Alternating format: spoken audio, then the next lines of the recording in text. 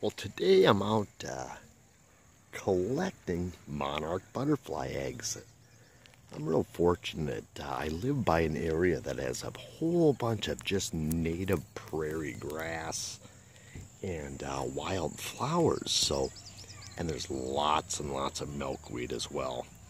So what I do is I just basically look uh, at the undersides of milkweed plants I've always had the best luck in my searching looking for the smaller ones. They just seem to lay the eggs on the smaller plants more often than the big, large, mature ones. So let's just take a look.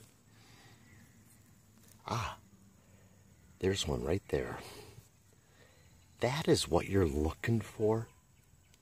They're just like a little white dot and if you look real close, I normally I, I carry a magnifying glass on me, but they're they have small ribs on them, and they're almost like kind of a cylinder shape. So what I do is I'll just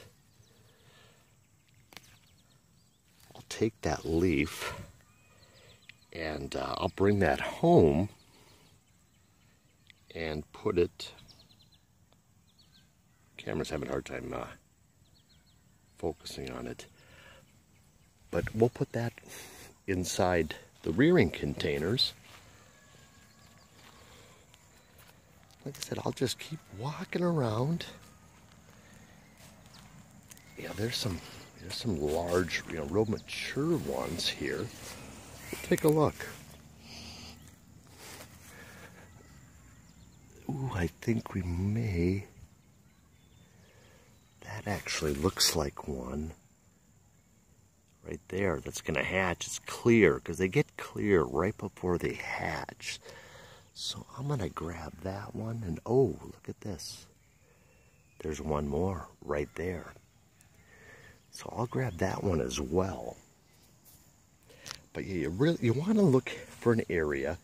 Obviously the monarch butterfly has to have milkweed. It's the only plant that the caterpillars can can eat and and survive on, but it's very important that you have all the flowering plants because the actual you know adult butterflies they get all the nectar from the from the flowers. So if you could find an area with lots of you know flowers to attract and feed the butterflies, you're going to find a and well along with the milkweed that's an excellent area to find the eggs. So.